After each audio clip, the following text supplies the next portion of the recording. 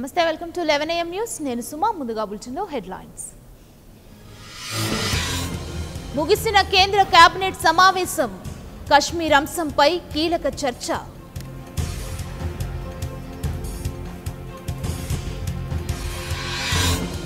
పార్లమెంటుకు అమిత్ షా కాసేపట్లో ఉభయ సభలపై ప్రకటన.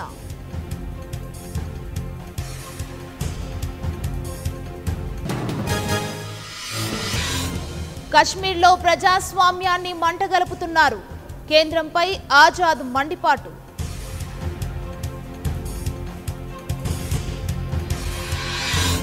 కశ్మీర్ సమస్య పరిష్కారం కాబోతుంది.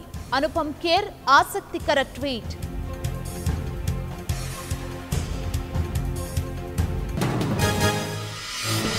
భారత్ ఏ దుస్సాహసానికి పాల్పడినా ఊరుకోం.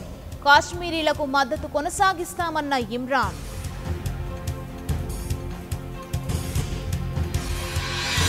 ఇంటర్నెట్ సేవలు రద్దు స్కూళ్ళు బంద్. కాశ్మీర్లోని పలు జిల్లాల్లో red alert.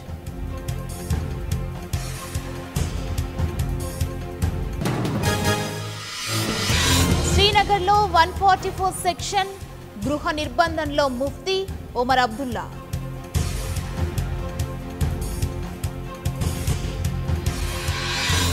Article thirty five A three సెవెంటీని రద్దు చేస్తారనే వదంతులు. కేంద్రం తీసుకునే నిర్ణయంపై సర్వత్రా ఉత్కంఠ.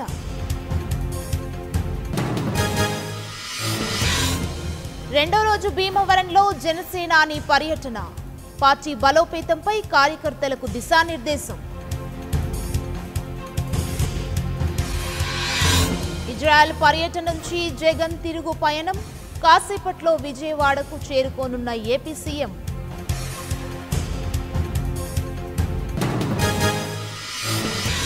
మహబూబ్ నగర్ ప్రమాదంపై కేసీఆర్ దిగ్భ్రాంతి. బాధిత కుటుంబాలకు భరోసా.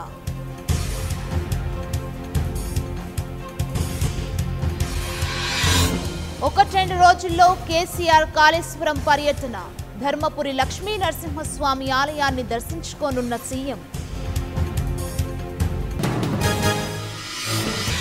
ఆరోగ్యశ్రీ బకాయిలపై ప్రభుత్వానికి డెడ్లైన్ వైద్యం నిలిపివేస్తామన్న డాక్టర్లు.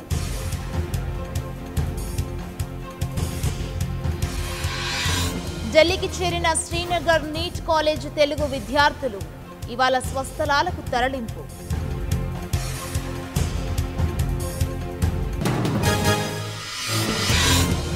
కేబినెట్ విస్తరణపై ఎడ్డీ ఫోకస్ అధిష్టానంతో ఇవాళ చర్చలు.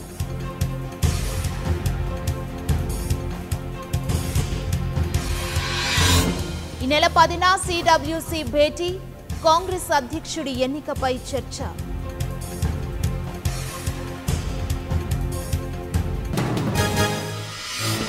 గోదావరి ఉధృతితో జల దిగ్బంధంలో గ్రామాలు. ప్రభుత్వ ఆదేశంతో సహాయక చర్యలు ముమ్మరం.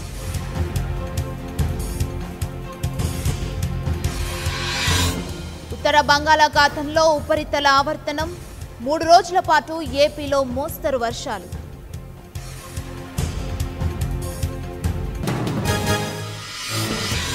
ధవళేశ్వరం బ్యారేజ్ వద్ద రెండో ప్రమాద హెచ్చరిక ఎత్తివేత. పదమూడు పాయింట్ ఏడు ఒక అడుగుల వద్ద కొనసాగుతున్న నీటి మట్టం. ముంబైలో కుండపోత వర్షాలు. సహాయక చర్యలు చేపట్టిన ఎన్డీఆర్ఎఫ్.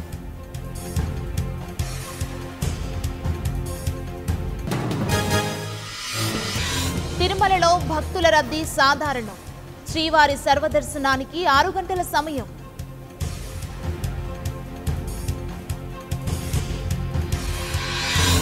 కుప్పకూలిన stock market. ఆదిలోనే నష్టాల బాట.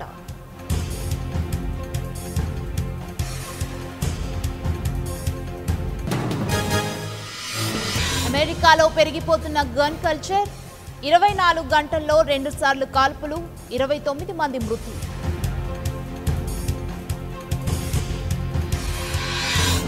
రెండో టీ ట్వంటీలో టీమిండియా విజయం. వెస్టిండీస్పై ఇరవై రెండు పరుగుల తేడాతో భారత్ గెలుపు.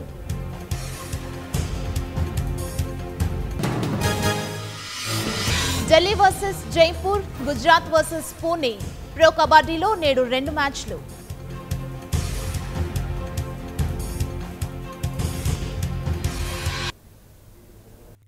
For more updates please subscribe ninety nine TV Telugu.